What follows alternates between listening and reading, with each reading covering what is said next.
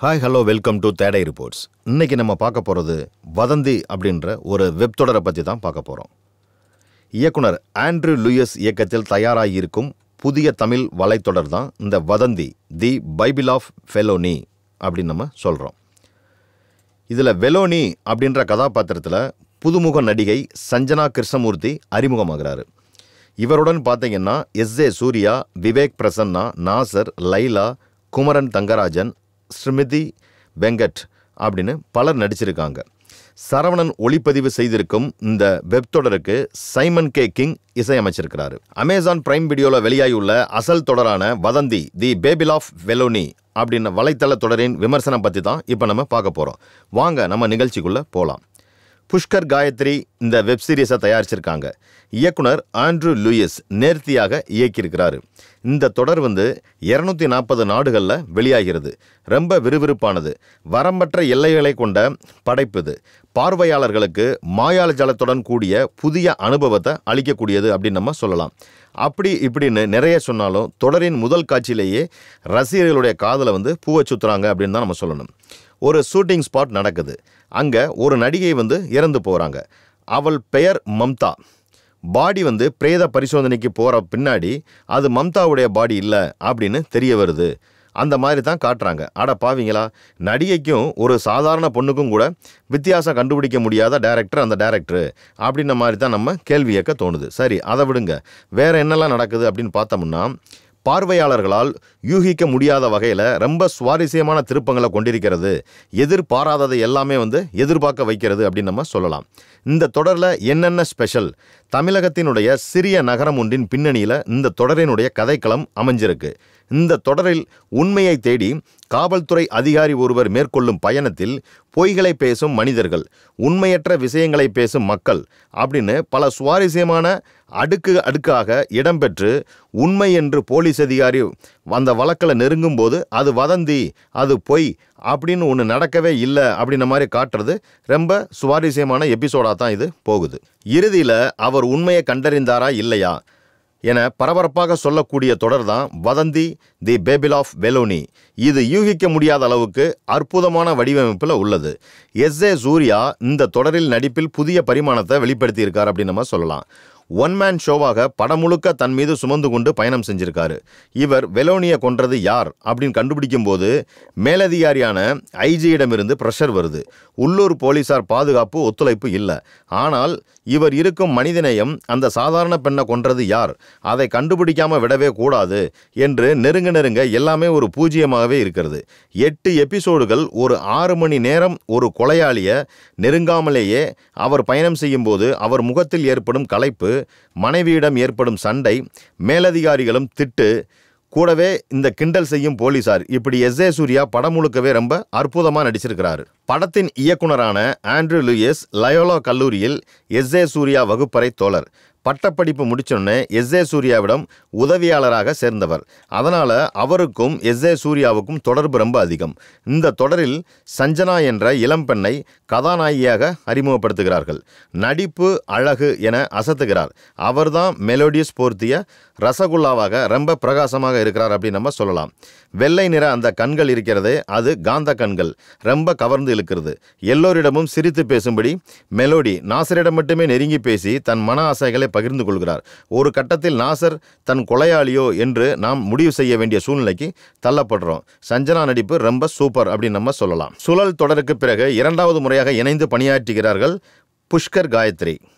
இந்த தொடரை இருநூத்தி நாற்பது நாடுகள் பார்க்க போகிறது. இயக்குனர் ஆண்ட்ரூ லூயஸ் சொல்லும் கதையை ஜப்பானியர்கள் தென்கொரிய மக்கள் தென் அமெரிக்கர் மக்கள் ஆகியோர் ரெ- மிகவும் சிறப்பாக பார்வையிட இருக்கிறார்கள். இது அமேசான் பிரைம் வீடியோவில் டிஜிட்டல் தளத்தில் மட்டும் அளிக்க முடியும். அதிலும் நீண்ட நேர கதை சொல்வதற்கு ஏற்ற இம்மாதிரியான வலைத்தள தொடர்களை சர்வதேச அளவில் எடுத்துச் செல்ல இருக்கிறது. வதந்தி தி பேபிள் ஆஃப் வெலோனி என்னும் வலைத்தள தொடரின் கதை என்ன? வாங்க பார்க்கலாம். வதந்தி தி பேபிள் ஆஃப் வெலோனி என்னும் வலைத்தள தொடரின் கதை என்ன? வாங்க பார்க்கலாம். ஷூட்டிங் ஸ்பாட்ல நடிகை மம்தா இறந்து கொலை செய்யப்பட்டு கிடக்கிறாரு. உதவியாளர்களும் ஆஸ்பத்திரிக்கு கொண்டு சென்று பிரேத பரிசோதனை செய்யப்படும் பொழுது அது நடிகை அல்ல மெலோடி என்ற உண்மையை தெரிய வருகிறது. அதன்பின் ஒரு எபிசோடு கழித்து தான் எஸ் சூர்யா கதைக்குள்ளே நுழைகிறாரு அதுவரை மந்தமாக போன இந்த கதையில் சூடு பிடிக்குது. மெலோனின் அம்மா லைலாவிடம் விசாரணை நடத்துகிறார்கள். லைலா நடந்து வரும் அந்த ஏஞ்சல் லாட்ஜில் வந்து போனவர்களிடம் விசாரணை நடத்துகிறார். கதை எழுதுவதற்காக அந்த லாட்ஜுக்கு வந்த நாசரிடம் விசாரணை நடத்தப்படுகிறது. எல்லாமே பொய்யிலும் வதந்திகளும் முடிகிறது. இதற்கிடையில் எஸ் ஏ சூர்யாவிற்கும் அவரது மனைவிக்கும் அடிக்கடி சண்டை வருகிறது. இறந்து போன இளவணியை பார்த்து அவர் இரவிலும் கூட புலம்பும்போது மனைவி மிகவும் சந்தேகப்படுகிறார். இந்த தொடரை பார்க்கும் நமக்கு கூட எஸ் ஏ சூர்யா காதலிதான் இந்த வெலோனியோ என்று சந்தேகம் கொள்ள வைக்கிறார்கள். ஆரவாரமற்ற காட்டுக்குள் மூன்று அண்ணன் தம்பிகள் மிருக வேட்டை ஆடுகிறார்கள் இறந்து போன அன்று மெலோடி ஒரு நபருடன் அந்த பகுதிக்கு சென்று இருக்கிறார் அந்த பகுதியின் பெயர் ஒத்தப்பாறை. இந்த மூன்று பேர்தான் பெலோனியை கொண்டு இருப்பார்களோ? இந்த சந்தேகமும் ஏற்படுகிறது. வதந்தியில் எஸ் ஏ சூர்யா நம்மோடு பேசும்பொழுது சில முக்கியமான தகவல்களையும் பகிர்ந்து கொண்டார். தயாரிப்பாளர்கள் புஷ்கர் மற்றும் காயத்ரியின் தெளிவான திட்டமிடல். பிரைம் வீடியோவில் சர்வதேச ரீதியிலான ஒத்துழைப்பு இயக்குனர் ஆண்ட்ரூ லூயிஸின் கடின உழைப்பு இவையெல்லாம் எனக்கு கிடைத்த ஆசீர்வாதங்கள். அதாவது என்னுடைய உதவியாளரின் இயக்கத்தில் தயாராகி அமேசான் பிரைம் வீடியோ என்னும் சர்வதேச அளவிலான புகழ்பெற்ற டிஜிட்டல் தளத்துடன் இணைந்து முதல் முதலாக வலைத்தள தொடரில் நடித்திருப்பதை பாக்கியமாக கருதுகிறேன். திறமையான இயக்குனர்களின் படைப்பில் மூலமாகத்தான் ஒரு நடிகர் சிறந்த நடிகராக புகழ் பெற முடியும். அந்த வகையில் என்னுடைய உதவியாளரின் இயக்கத்தில் வதந்தி என்னும் இந்த தொடரில் நடித்திருப்பதால் சிறந்த நடிகர் என்ற பெயர் கிடைக்கும் என மிகவும் உறுதியாக நம்புகிறேன். உண்மை நடக்கும் பொய் பறக்கும் என இந்த தொடரில் ஒரு வசனம் இடம்பெற்று இருக்கிறது. கன்னியாகுமரி பகுதியில் உள்ள மக்கள் இயல்பாக பேசும் பேச்சு இந்த பேச்சு. இது இந்த தொடருக்கு மிகவும் பொருத்தமானது. டேக்லைனாக இணைத்து கொள்ளலாம். வதந்தி இந்த சமுதாயத்தில் மட்டுமல்ல உலகம் முழுவதிலும் இருக்கிறது. பொதுவாக சொல்ல வேண்டுமென்றால் மனிதன் தன்னுடைய பொழுதுபோக்கிற்கு கண்டுபிடித்த முதல் விஷயமே வதந்திதான் என்று நான் நினைக்கிறேன். யாகாவர் ஆயினும் நாகாக்க என்னும் திருக்குறளில் யார் இதை கட்டுப்படுத்த முடியவில்லை என்றாலும் வாயிலிருந்து வெளியாகும் வார்த்தைகளாவது கட்டுப்படுத்த தெரிந்திருக்க வேண்டும். இது திருக்குறள். இந்த திருக்குறளை இதுவரை வலிமையாகவும் கூர்மையாகவும் ரசிக்கும் வகையில் யாரும் கதையாக சொல்லவில்லை. ஒருவேளை இதை நேர்த்தியாக சொன்னால் நன்றாக இருக்கும் என்று நினைத்தேன். இதை எப்போது சொன்னாலும் நன்றாக இருக்கும் என நம்பினேன். இயக்குனர் ஆண்ட்ரூஸ் நம்மோடு பேசும்பொழுது மூன்று ஆண்டுகளுக்கு முன் அமேசான் பிரைம் வீடியோவில் அபர்ணா மேடத்தை மும்பையில் சந்தித்தேன். இருபது நிமிடம் வதந்தி தொடரின் கதையை விவரித்தேன் அவர்கள் உடனடியாக கதையின் உள்ளடக்கத்தை மிகவும் துல்லியமாக புரிந்து கொண்டு உற்சாகத்துடன் பணிகளை தொடங்குமாறு கூறினார். அத்துடன் படைப்பாளிக்குரிய சுதந்திரத்தையும் வழங்கினார். இதற்காக அவருக்கு இந்த தருணத்தில் நான் மிகவும் நன்றி தெரிவித்துக் கொள்கிறேன். அதன் பிறகு பதினோரு மாதங்கள் இந்த தொடருக்கான திரைக்கதையை எழுதினேன்.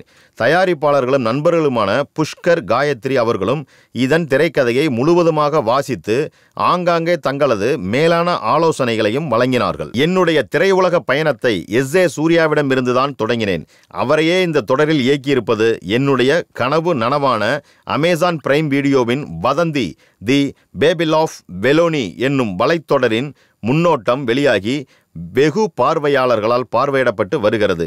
இந்த தொடர் எதிர்வரும் டிசம்பர் மாதம் இரண்டாம் தேதி அன்று தமிழ் தெலுகு மலையாளம் கன்னடம் இந்தி ஆகிய மொழிகளில் மட்டுமல்லாமல் முப்பதற்கு மேற்பட்ட சர்வதேச மொழிகளுடன் இருநூத்தி நாற்பது பிராந்தியங்களிலும் வெளியாகிறது என்றார். எப்படியோ ஒரு கிரைம் திருவிழா வெப் தொடர் நன்றாகவே வந்துள்ளது. படத்தின் ஒளிப்பதிவு படத்திற்கு மிகப்பெரிய பக்கபலம். சைமன் கிங் இசை படத்திற்கு உயிர் நாடி. மொத்தத்தில் இந்த வதந்தி பொய் பறக்கும் உண்மை நடக்கும். இந்த மாதிரி சினிமா விஷயங்களையும் வெப் தொடருக்கான விஷயங்களையும் உடனுக்குடன் இமிடியேட்டாக தெரிந்து கொள்ள தேடை ரிப்போர்ட்ஸை பாருங்க லைக் பண்ணுங்க சப்ஸ்கிரைப் பண்ணுங்க கமெண்ட் பண்ணுங்க ஷேர் பண்ணுங்க.